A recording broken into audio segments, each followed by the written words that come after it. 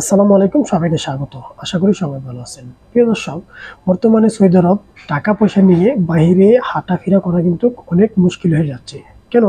আমার চোখের দেখা কালকের যে ঘটনাটা ঘটছে, কালকে যে ঘটনাটি ঘটলো, এক মিশরিয়ান ভাই, এক মিশরিয়ান ভাই উনি রাস্তা দিয়ে যাইতেছেন। এক গাড়ি থেকে চার পাঁচজন নামলেন।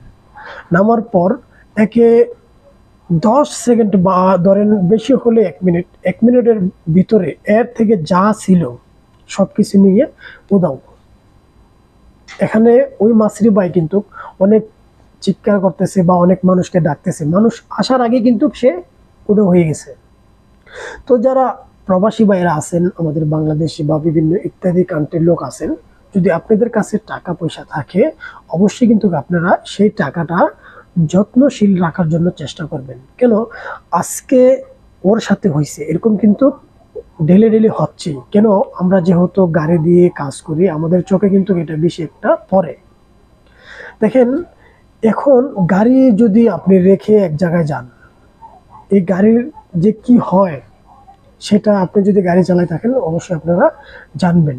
এখন বর্তমানে সৌদি আরবে কিন্তু বিশাল সমস্যা এরকম চলতেছে। দেখেন, আমার রুমের সামনে এই ঘটনাটা না বললেই নয়। আমার রুমের সামনে যে ঘটনাটি ঘটলো, এক ব্যক্তি এটিএম থেকে টাকা উঠাচ্ছেন। উঠানোর পর টাকা উঠানোর সময় চার পাঁচ দিয়ে আসলেন। আসার পর এর থেকে টাকাটা কীভাবে ছিনিয়ে নেবে, এরা এরকম ইয়ে করতেছেন। এই সৌদিনদের সাথে কিন্তু এক বাঙালি ভাইও আছেন। সাথে সাথে যেই এটিএম থেকে টাকা উঠাচ্ছেন, এর কপালটা খুবই ভালো। এর থেকে যখন টাকাটা এরা নেওয়ার জন্য চেষ্টা করতেছেন, তখনই পুলিশের গাড়ি চলে আসলেন। তো দেখেন, এর কপালটা ভালো দেখে কিন্তু পুলিশের গাড়িটা চলে আসছে। আসার পর সাথে সাথে এদেরকে ধরে নিল।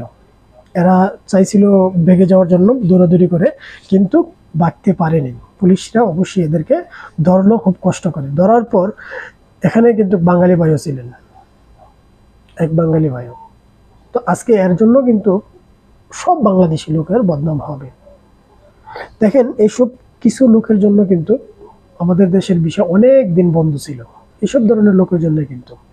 তো যারা এসব থেকে আপনারা যদি জানেনও এসব ধরনের কাজ করে থাকে কিছু বাঙালি, এদেরকে আপনারা অবশ্যই নিষেধ করবেন জানাশোনা থাকলে।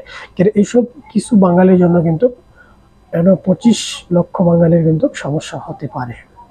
তো প্রিয় দর্শক, আমার নিজের চোখের দেখা যে দৃশ্যটা অবশ্যই আপনাদের সাথে যদি পয়সা থাকে, সেই পয়সা আপনারা খুব সাবধানে রাখার জন্য চেষ্টা করবেন। না হলে কিন্তু আপনিও এদের পাল্লায় পড়তে পারেন।